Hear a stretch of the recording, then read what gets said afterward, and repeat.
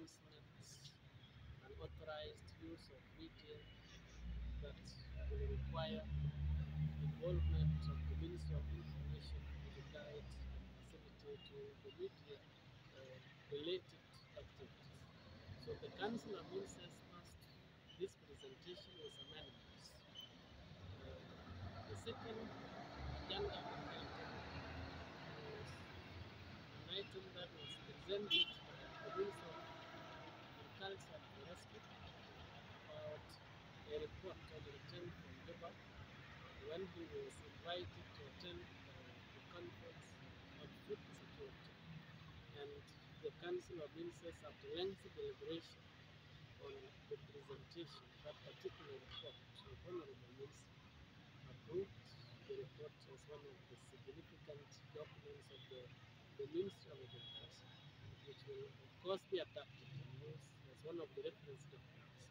So the Council of Ministers only approved two items on the agenda. Uh, the prohibition of unauthorized use of uh, media equipment uh, related to Ministry of Information and Communication with amendment and then uh, a memo on the report on the return from Juba from the Minister of Agriculture and Forestry. So these were only the two items on the agenda presented. Under AOB, of course, a significant uh, matter was raised. Uh, ministers briefly discussed about uh, food security in the state, and the, the, the cabinet decided that uh, uh, the food items must be distributed uh, to counties with affordable cost of only 350 SSP per month or so soon.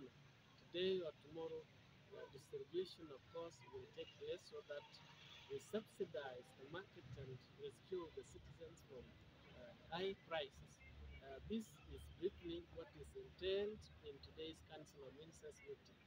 I thank the listeners, I thank the listeners of SSBC and everyone who will attend to this special sitting of the Council of Ministers today. Thank you so much.